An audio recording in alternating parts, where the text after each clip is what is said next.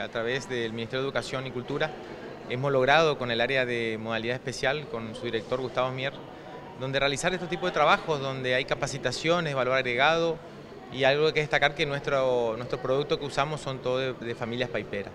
Y no solo eso, sino también la, inclusión con, con, nuestros chicos acá especiales, eh, que nos permite a nosotros cada vez estar más incluidos, ellos con nosotros, nosotros con ellos. Y la verdad que es una alegría tremenda, es una alegría al alma trabajar con nuestras escuelas especiales en toda la provincia. Estamos ¿De qué manera se dio este trabajo? Y este trabajo se dio a través de, una necesidad que había, de un área que ellos tienen y también de un programa nacional que permite que los chicos accedan a una remuneración y una certificación de trabajo. Entonces nosotros, a través de nuestros trabajos, nuestra participación en capacitación, nosotros certificamos eso y ellos tienen un ingreso a través de un programa nacional.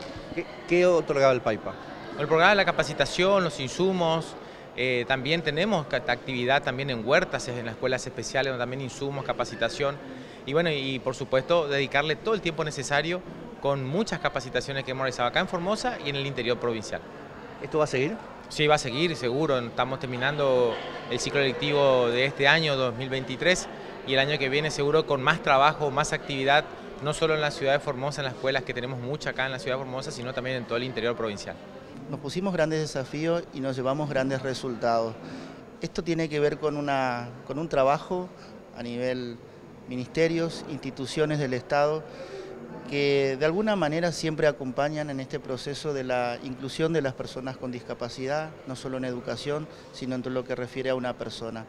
Eh, este año nosotros realizamos un convenio con el Instituto PAIPA eh, para trabajar de manera articulada entendiendo que la institución, el PAIPA, es el emblema del modelo formoseño y que habla mucho de, equidad, habla mucho de igualdad de oportunidades para llegar a la justicia social. Entonces nos unió los mismos objetivos.